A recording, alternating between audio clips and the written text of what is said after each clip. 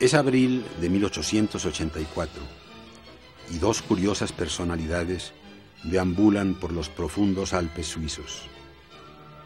Los dos, sin encontrarse nunca, levantan la mirada a las alturas nevadas y descubren los secretos más íntimos de la condición humana.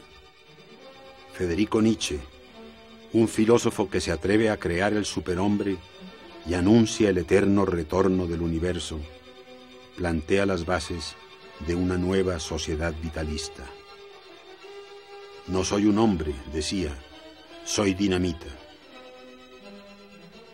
Ha destruido todas las morales y presenta al universo como un mecanismo ciego, como una rueda que gira eternamente y sin objeto.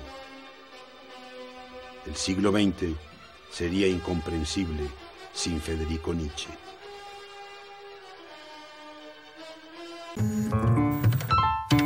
Señal Memoria, imágenes y sonidos para la historia.